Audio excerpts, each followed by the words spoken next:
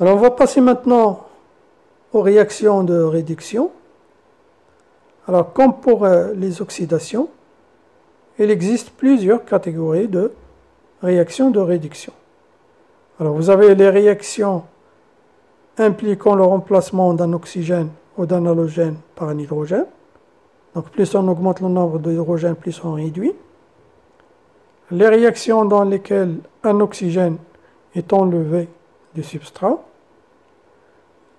Les réductions par addition d'hydrogène ou bien les réactions par rupture de liaison. Les couplages, vous avez également les couplages réducteurs, réactions de couplage par action des métaux dissous.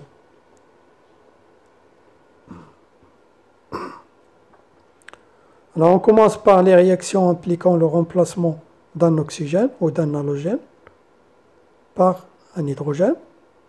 Alors ce sont des réactions de transfert d'hydrure. Il existe diverses réactions dont les plus courantes sont ici rangées par ordre de réactivité. Donc vous avez le plus réactif, c'est l'hydrure de lithium et d'aluminium. Hydrure de lithium et d'aluminium, ou bien le borahydrure de lithium, ou bien le borahydrure de sodium, qui a la même efficacité que le borahydrure de potassium. Donc les Rx sont réduits en RH, transfert de H-. Donc le H- qui va attaquer le départ de X-. La même chose, on peut assister à une ouverture de, des epoxydes en alcool, puisque le H- il peut attaquer ici et vous aurez l'ouverture. Alors on peut réduire la fonction aldéhyde avec le borahydrure dans le, méthanol en alcool et avec un bon rendement, 82%. La même chose, les groupements carbonyles sont réduits en alcool, mais lorsque vous avez l'obtention d'un carbone asymétrique, donc là vous avez deux possibilités d'attaque, ce qui fait vous allez former un mélange d'énantiomères.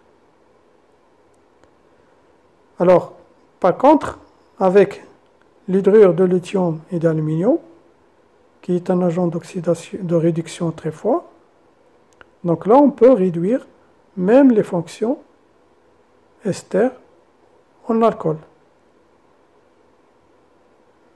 Par contre, lorsque vous avez par exemple ici une fonction ester une fonction carbonyle, avec le borahydrure, on ne peut pas réduire la fonction ester.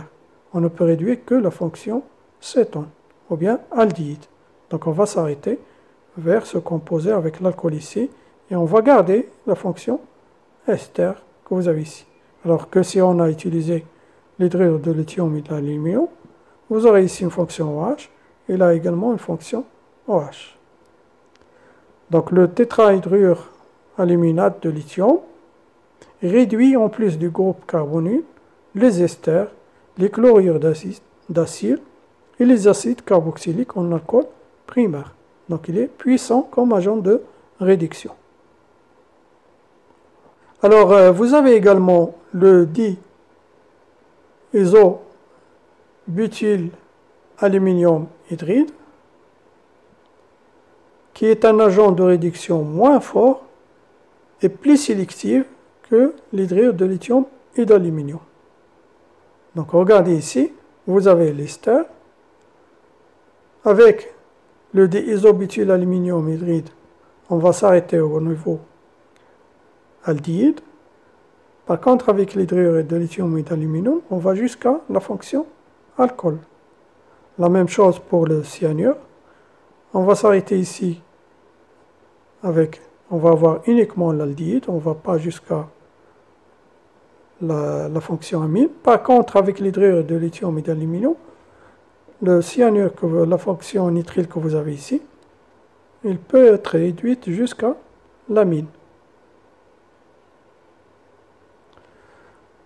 Alors en ajoutant un acide de Lewis, ici le PF6, dans l'éther, il est possible de réduire l'ester en éther.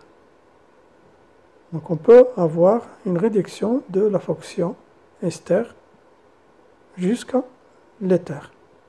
Donc en fait, on va réduire le groupement carbonyl ici avec des hydrogènes, avec l'hydrure de lithium et d'aluminium dans un mélange éther acide de Lewis. Alors vous avez la réduction d'un alcool en alcane.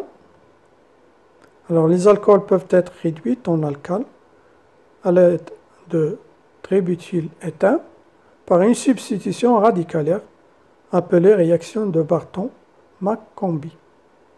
Alors la première étape consiste à la formation d'un alcoolate que vous avez ici. La réduction avec le CS2 donnera un xanthate au diéthiocarbonate que vous avez ici. Et l'alkylation à l'iodure de méthyle va permettre d'avoir le substrat. Donc l'alkylation ici va nous donner le substrat. Et la réduction du substrat va être par voie radicalaire avec l'AIBN comme agent de génération des radicaux libres. Donc là, il va y avoir la réduction. Donc on va réduire ici, on va mettre un hydrogène. Et cette réduction, il se fait par le biais d'un agent de radicalaire. Donc c'est une réaction radicalaire à, ce niveau-là. On va obtenir l'alcane alors qu'on a fait le départ de l'alcool. Alors vous avez ici le mécanisme de la réduction d'un alcool en alcane. Alors je rappelle que l'azo bi isobutylnitrile, la IBN, c'est un agent très utilisé dans les réactions de polymérisation. Donc ça permet de générer des radicaux libres que vous avez ici. Alors les radicaux libres vont agir ils vont nous donner une chaîne de radicaux libres qui vont réagir ici à ce niveau-là avec le R-, qui vont donner le R point, et bien sûr un échange ici avec H point va donner le groupement alcane. Alors le mécanisme, vous l'avez ici, différentes étapes. Alors R, ça peut être un alkyle, un hydrogène, un méthyle, ou un thioalkyle, ou un méthoxy, ou un phényl, ainsi de suite.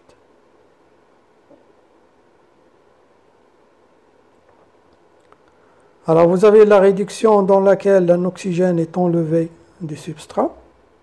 Alors pour ce genre de réaction, à nouveau, on pourra utiliser des hydrures telles que l'hydrure de lithium et de l'aluminium alors c'est le cas notamment lorsqu'on veut réduire les sulfoxydes en sulfure. Donc là on peut réduire les sulfoxydes en sulfure par le biais de l'hydrure de lithium et d'aluminium. Les groupes nitro peuvent eux aussi être réduits, mais cette fois par action d'hydrogène formé in situ. Donc regardez ici, le groupe nitro est transformé ou bien réduit en groupe amine par le biais de ZnHCl. Donc là, la réaction se fait in situ. Donc là, on va générer en milieu acide avec le zinc des hydrogènes qui vont réduire l'azote que vous avez ici. On va passer à l'amine. Alors vous avez également la réduction de Wolff-Kirchner qui va nous réduire un groupement carbonyl en alcane par le biais d'une hydrazine. Et dans ce cas, c'est un milieu basique. Donc on peut travailler dans la réaction de réduction avec un milieu basique pour la réduction de Wolff-Kirchner. Donc là, vous avez le mécanisme à partir de l'hydrazine. Donc là, vous avez le doublé de l'azote qui va attaquer ce groupement carbonyl qui est un centre électrophile.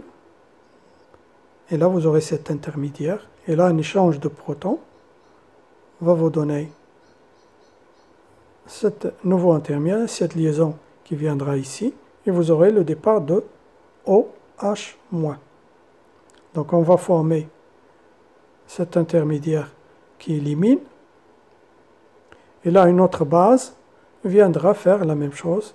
Donc on va arracher cet hydrogène de l'hydrazine, la liaison qui reviendra ici, cette liaison-là, et on va former, après le départ d'une molécule d'eau, un carbanion.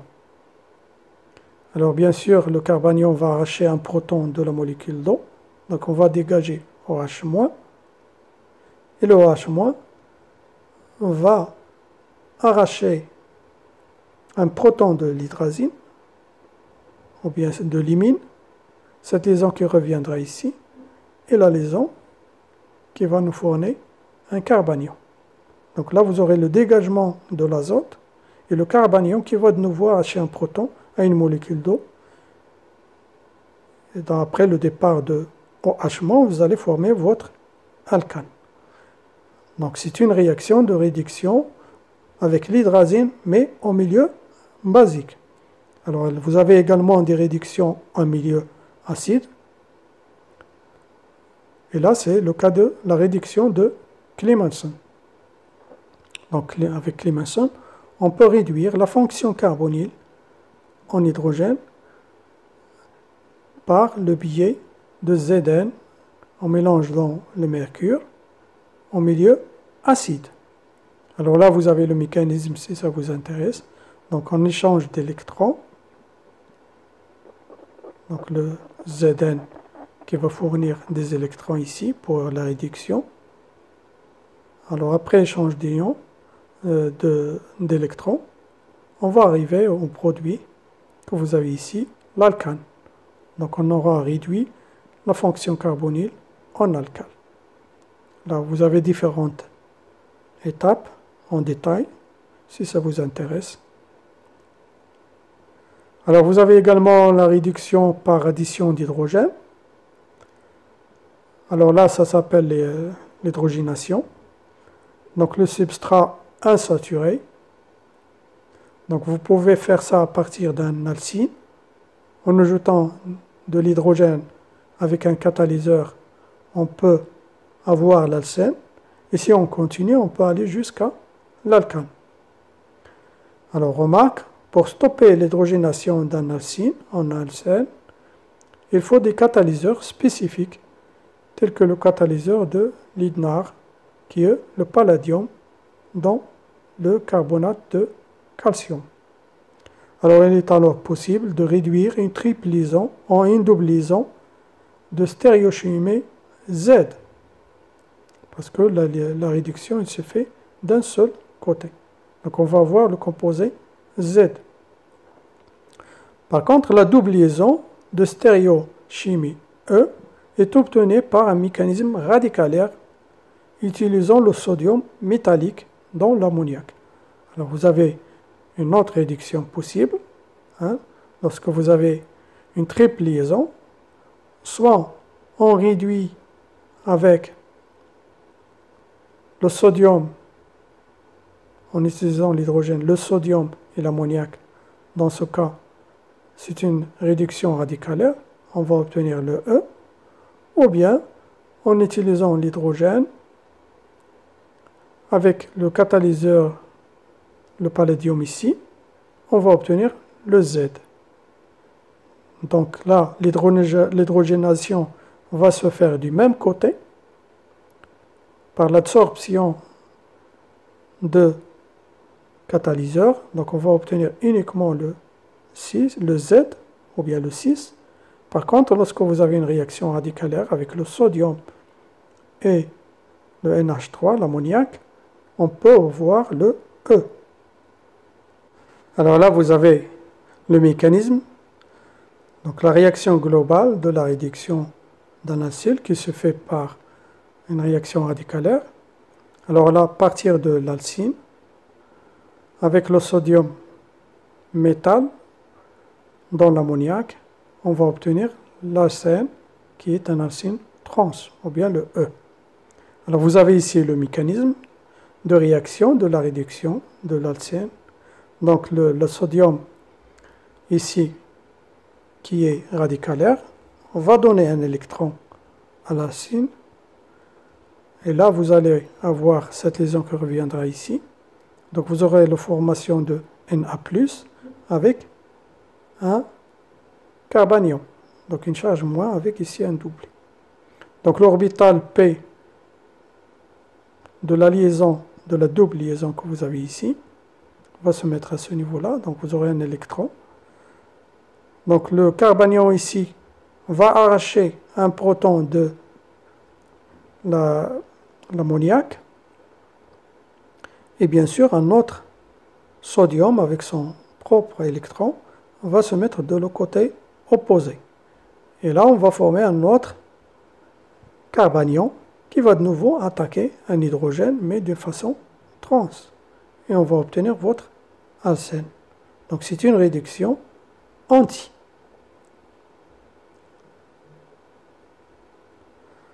Alors vous avez également la réduction par rupture de liaison, cas des peroxydes. Donc deux types de ruptures possibles. Dans un cas, on a une réduction avec formation de deux molécules d'alcool, alors que dans l'autre cas, on a formation d'un éther. Donc regardez ici, avec l'hydrure de lithium et d'aluminium. Donc lorsque vous avez un peroxyde, ça veut dire deux oxygènes ici, on peut avoir deux alcools, dans le cas ici. Par contre, ici, on peut avoir un éther. Vous avez également le cas des disulfites.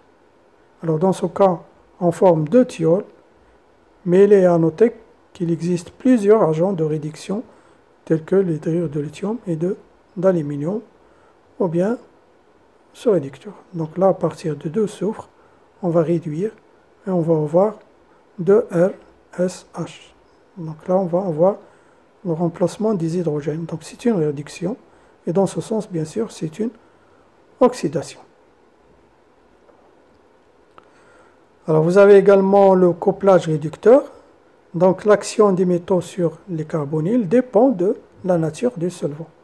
Alors dans un solvant aprotique, il permet de générer un radical sur le carbone qui porte l'oxygène, d'où la réaction de couplage entre deux radicaux. Par contre, dans un solvant protique, vous avez des liaisons hydrogène, il permet de générer un radical anion qui est protoné pour donner l'alcool. Donc voici le cas de la réduction de Berge, des cétones. Donc en milieu aprotique, vous n'avez pas de liaison hydrogène, donc on peut utiliser le sodium en présence de toluène, ou bien le manganèse en présence de mercure, en présence de benzène comme solvant. Donc les deux solvants sont aprotiques. Alors la réaction a lieu à la surface du métal, donc vous n'avez pas d'électron solvaté. L'électron n'est pas solvaté et la réaction est forte. Donc deux carbonyles peuvent donner deux composés donc après le sel, vous allez former le diol. Donc la même chose, deux groupements carbonyles hein, peuvent s'associer entre eux. Vous avez cet intermédiaire cyclique qui va donner un diol. Alors vous avez le mécanisme si ça vous intéresse. Donc c'est une réaction radicalaire. Donc un électron viendra s'accrocher ici. Donc vous aurez la formation de ce premier radical. Donc euh, ce radical, il est fortement associé car non solvaté, il n'est pas solvaté. Donc il va s'ajouter sur la deuxième fonction carbonyle, le deuxième carbonyle. Donc là, un électron. Un électron viendra ici. Donc c'est cet électron. Une autre réduction par un autre électron va donner une charge moins. Ou encore, vous pouvez avoir ce mécanisme tout simplement. Et là, vous formez ce sel qui va être hydrolysé ici. Donc on va accrocher un hydrogène après. Alors vous avez également la réduction des mais dans ce cas en milieu protique. Donc on peut utiliser le sodium, toujours métallique, soit dans l'alcool ou bien dans un autre solvant protique. Donc ça peut être avec ou sans co-solvant, le THF. Donc on peut utiliser tout simplement l'alcool sans le THF. Alors le sodium dissous génère des électrons qui sont solvatés, solvatés par l'alcool. Donc le groupement carbonyl avec le sodium, avec dans un milieu alcool, va vous donner votre alcool. Alors vous avez ici le mécanisme. Donc pour la réduction en milieu protique, donc vous avez l'alcool comme milieu protique qui va vous donner un électron solvaté dans l'alcool, OH, après dégagement d'hydrogène. Alors l'électron solvaté ici va réagir avec le groupement carbonyl. Donc là, on peut avoir les deux isomères ici. Donc soit l'électron ici ou bien sur l'oxygène. Donc là, avec un taux 15%, 95%. Et votre produit que vous avez ici va réagir avec l'alcool du milieu et on va former le premier radical avec un OH ici. Un autre électron viendra pour s'ajouter ici et former le carbanion qui va arracher de nouveau un hydrogène à l'alcool et vous donner votre produit que vous avez réduit. Donc à partir de la fonction carbonyl, on peut obtenir l'alcool par une réaction radicalaire en milieu protique. Voilà, on vient de finir ce cours de réaction d'oxydoréduction. Je vous souhaite